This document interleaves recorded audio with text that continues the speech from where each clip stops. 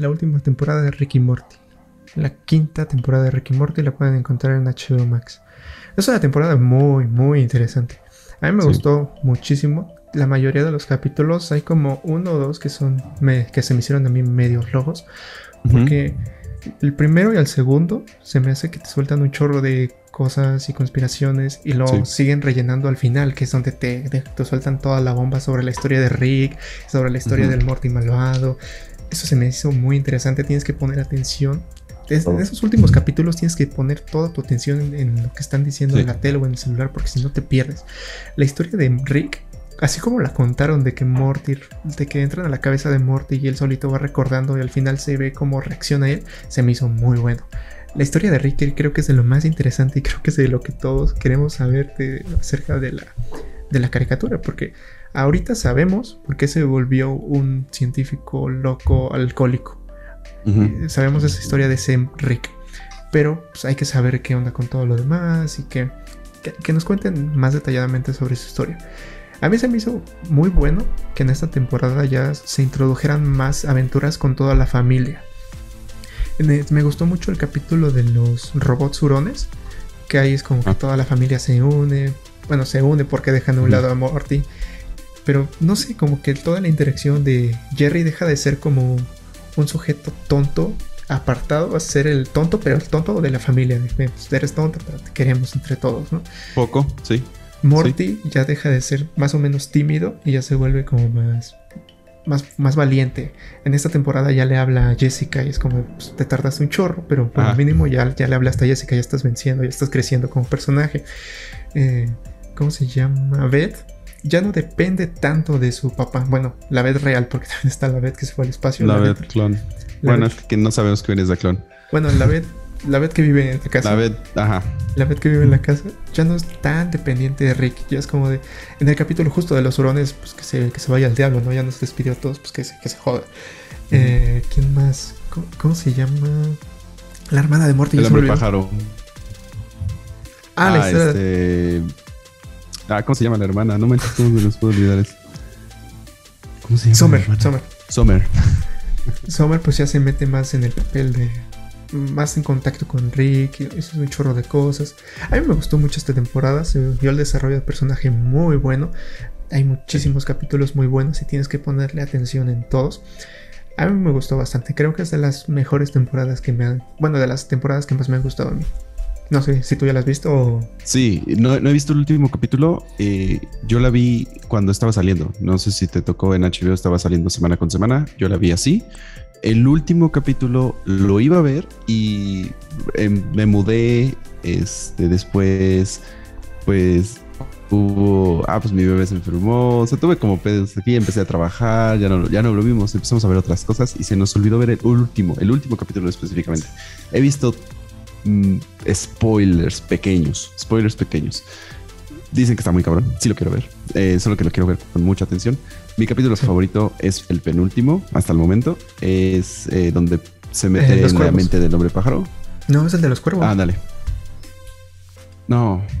No, sí, el penúltimo es el de los cuervos, porque el último. Bueno, no te voy a decir spoiler. El penúltimo es el de los cuervos cuando se cuando hacen el juego de la ruleta. Y le dice a Morty, oye, tengo todas estas opciones que son mejor que tú. Ah, ok, ok, ajá.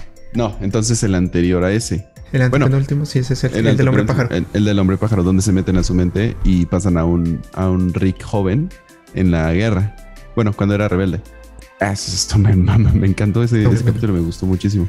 Eh, aparte me gustó cómo lo llevaron como tipo Inception. Y igual la historia del hombre pájaro que en realidad se llamaba a la, a la chica y, y, que tuvieron un bebé. Y o sea, esas cosas fue cuando digo, mames, está chido.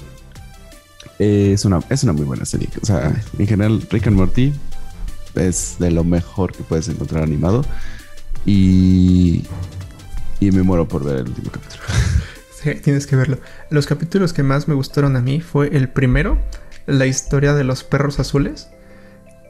Que entra al portal Morty. Esa historia me gustó muchísimo. Quién sabe por qué, pero me encantó. Está bueno. Y el, segundo fue el de los espermas.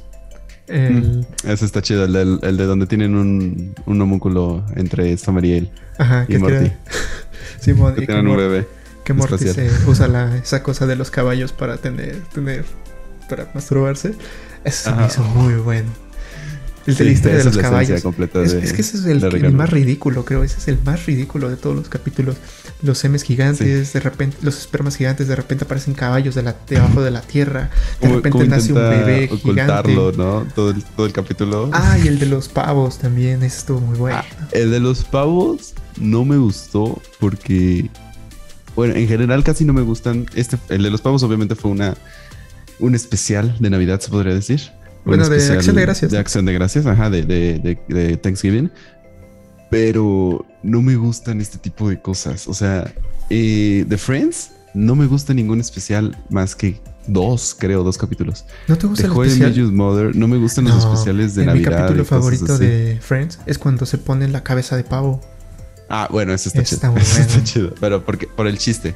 Pero en general, no sé por qué no me gusta. Siento que es como una. ¿Forzado? Ajá, siento, no es forzado, porque pues al final de cuentas existe y todos lo celebramos, ¿no? O sea, bueno, Thanksgiving aquí en México no, pero en Estados Unidos sí. Pero, pero Navidad se me hace como, como propagandístico hacia la, hacia la celebridad. O sea, un poco. No, sé cómo describirlo. No, no me agrada ver eso. Tampoco me desagrada, ¿no? Sí lo veo, pero no es mi favorito. A mí me gusta verlos en la temporada. Por ejemplo, si es Navidad, ah. te pones un capítulo de Friends de Navidad. Si es, si es fin de año, te pones el capítulo de How Million Mother de fin de año. A mí me gusta verlos así. Así en otras etapas del año no, no me convence. Como que no, no entra, ¿no? Ajá. Pero creo que este capítulo de los pavos no se me hizo tan tanto especial. Se me hizo muy buena cuando se meten, cuando se convierten en pavos. A mí me gustó muchísimo. Se me hizo ah, cuando están dentro de todos los pavos. Eso está chido. Y al final también, cuando están peleando pavos contra muertos que salen de las tumbas de, no sé dónde, se me hizo muy bueno. A mí me gusta la rivalidad que tiene con el presidente. Porque siento ah, que si, si, existiera un hombre como Rick, eso pasaría. Todo el mundo le dice, ya bésense. sí, o sea, eso pasaría porque imagínate al güey de los güeyes más poderosos del mundo, que pues en este caso es el presidente de los Estados Unidos, contra un vato que le vale madres el gobierno y le vale madres todo. Eso está genial, o sea. esos capítulos son, de mis favoritos.